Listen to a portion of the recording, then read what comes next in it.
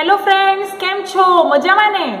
હા, તમને આ વસ્તુ જોઈને ખબર તો પડી જ ગઈ હશે કે ટીચર આજે પાછી સરસ મજાની એક એક્ટિવિટી લઈને આવેલા છે. સાચી વાત ને? તો હા, આપણે એક્ટિવિટી જ કરવાની છે.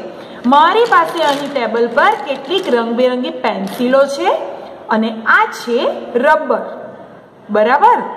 આપણે આજે એક્ટિવિટીમાં આ બે જ વસ્તુનો ઉપયોગ કરવાના છીએ. અને સાથે સાથે હું તમને એકમ અને દશકનો ખ્યાલ પણ આપવાની છું. પરંતુ ભણતા ભણતા નહીં, આપણે રમતા રમતા ભણવાનું છે. સમજી ગયા ને? તો આપણે શરૂ કરીએ એક્ટિવિટી બરાબર? હવે આ અહીં કેટલીક પેન્સિલો છે. તો મારે દસ પેન્સિલ ગણીને તેનું એક જૂથ બનાવવાનું છે. તે દસ પેન્સિલ ગણીને હું તેના પર આ રબર લગાવી દઈશ. પણ ગણવામાં તમારે મને મદદ કરવાની છે. તો આપણે ગણીએ. એક, બે, ત્રણ, ચાર, પાંચ, છ, સાત, આઠ, નવ, દસ. કેટલી પેન્સિલ થાય દસ. હવે આ દસ પેન્સિલ થઈ તેને હું રબર મારી દઉં છું. એટલે કે આપણું એક દસનું જૂથ તૈયાર થઈ ગયું છે. તો તે જૂથને હું બાજુ પર મૂકીશ. હવે પાછું મારે દસનું જૂથ બનાવવાનું છે. તો પાછી પેન્સિલ લઈશ. એક, બે, ત્રણ, ચાર, પાંચ, છ, સાત, આઠ, નવ, દસ. તો હવે હું શું કરું? તેના પર રબર મારી દઈશ. એટલે પાછું આપણું એક બીજું પણ દસનું જૂથ તૈયાર થઈ ગયું. બરાબર ને? તો એ બીજું જૂથ પણ હું એની બાજુમાં મૂકીશ. હવે પાછા હું દસ ગણીશ.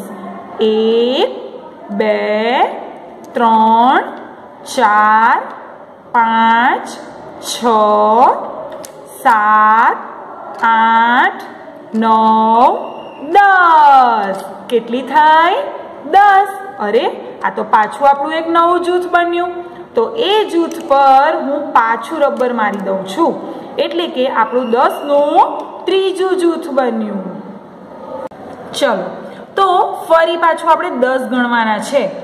એક, બે, ત્રણ, ચાર, પાંચ, છ, સાત, આઠ, નવ, દસ. પાછું હું શું કરીશ? એને રબર મારી દઈશ.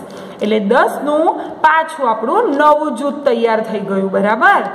તો દસના આપણા કેટલા જૂથ બન્યા? ચાર. એક, બે, ત્રણ, ચાર. હવે આ પેન્સિલ દસ છે. આપણે ગણીએ.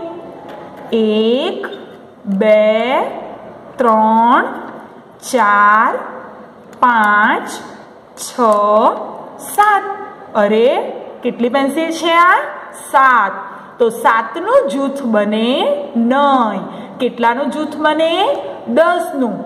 તો આ સાત પેન્સિલને હું છૂટી જ રવા દઈશ. બરાબર? આપણી પાસે દસના કેટલા જૂથ છે? ચાર. એટલે કે ચાર દશક અને આ છૂટી કેટલી છે? સાત. એટલે કે સાત એકમ. છૂટી એટલે કે એકલી સંખ્યા હોય, તેને છુટ્ટી કહેવાય, તેને એકમ કહેવાય. એટલે કે આપણી પાસે સાત છુટ્ટી પેન્સિલો છે. એટલે સાત એકમ અને દસના જૂથ ચાર છે. તો ચાર દશક એટલે ચાર અને સાત. ચોગડ સાતર સુડતાળીસ. કેટલા થાય? સુડતાળીસ. સમજી ગયા ને? તમારી પાસે ઘરે આવી રીતે કોઈ પણ વસ્તુ હોય, તેનાથી તમારે આવી રીતે એક્ટિવિટી કરવાની છે. તો કેમ ફ્રેન્ડ્સ મજા આવી ને? એક્ટિવિટીથી મેં તમને બતાવ્યું કે એકમ કોને કહેવાય અને દશક કોને કહેવાય.